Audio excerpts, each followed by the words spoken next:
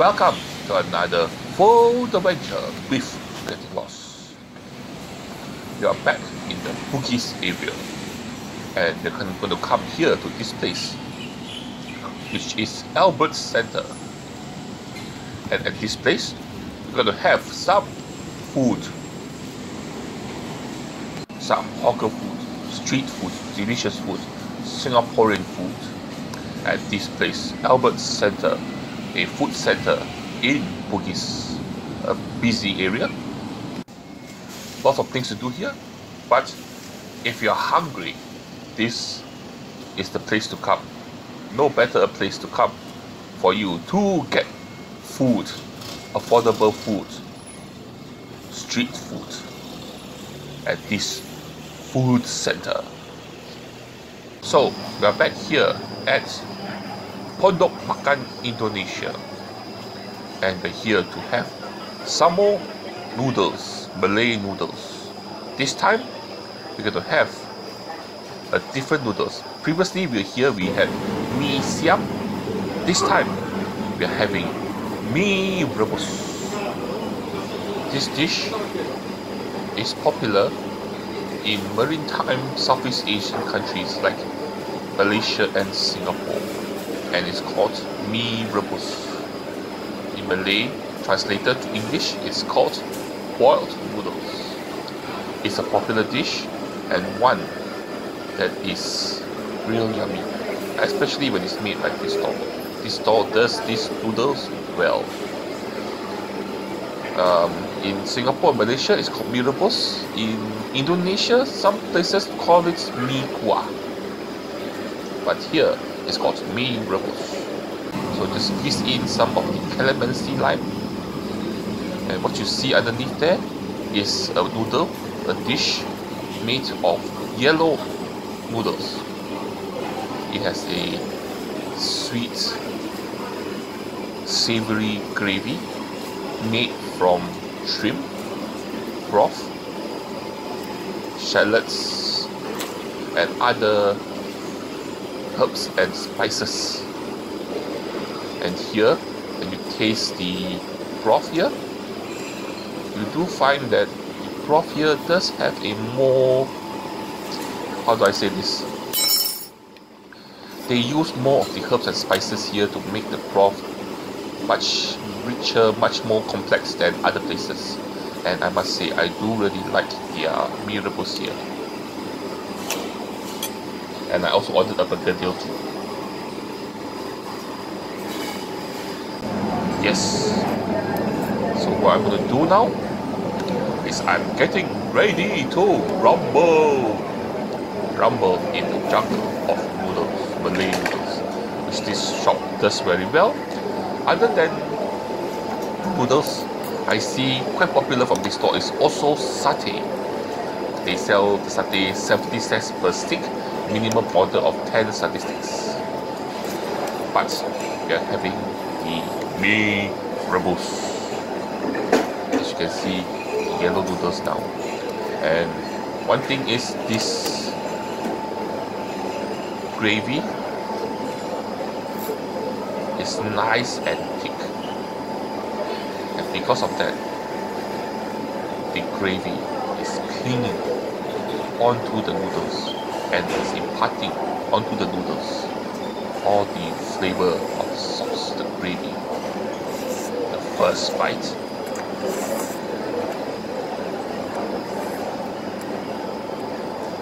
I must say I am enjoying it. The noodles here a bit overcooked to my liking. I prefer my noodles slightly more um, less cooked, but still good. You also got bean sprouts in there, but really, the gravy here done very well. Sweet, savory, and you got cut chilies to give it the heat. It's like it's almost like a curry-like gravy, but done so well with Indonesian Malay spices. And because gravy is nice and thick, it's coating all the noodles so well. compared to other Mee Rebus gravies, the gravy here has a more interesting flavor, slightly more spices in it. So it's good compared to other places.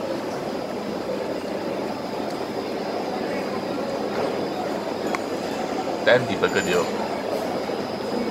The bergedil by itself is good.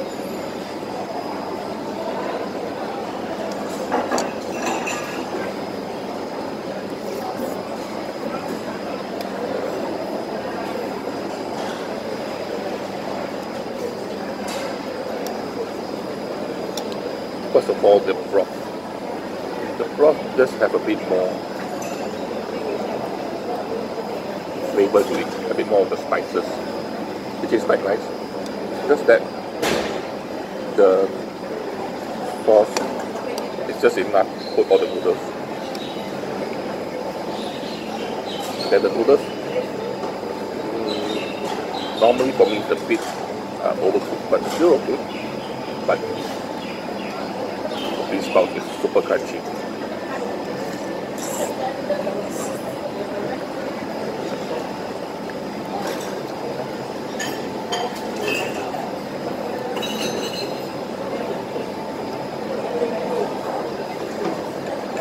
Then the bergedil, is nice.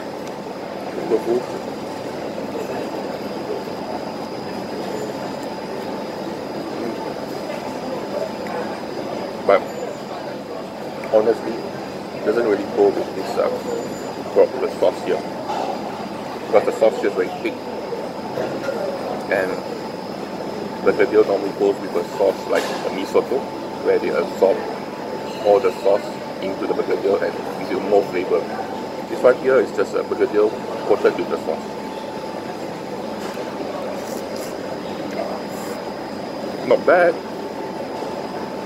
but not the ideal situation. But still good.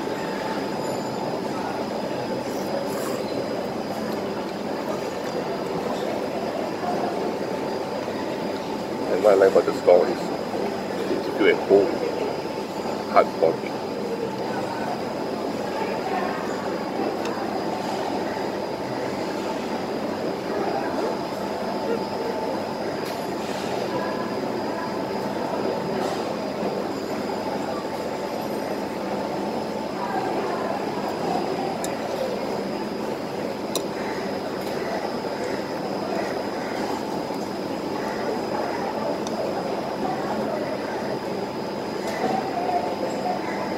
The sauce here is really nice. Just that uh, I think mee siam is a slightly better dish than this dish.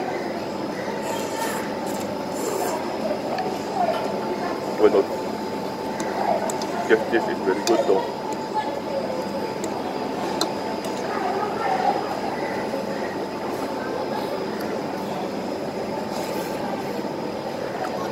And while I'm here, I wanted to have some snacks. So I'm having some goreng pisang from this store here. So what they do, they what they sell here is basically fritters. Yes, different uh, fritters. The main thing they sell is goreng pisang, which is banana fritters.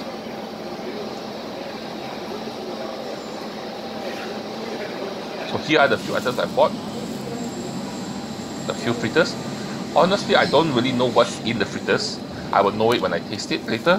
But I just pointed to a few things, and of course the uh, goreng pisang or the banana fritter. That I know what it is.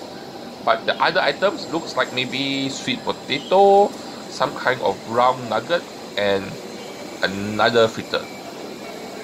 Yes, we'll find out what it is. Yes, let's dig in.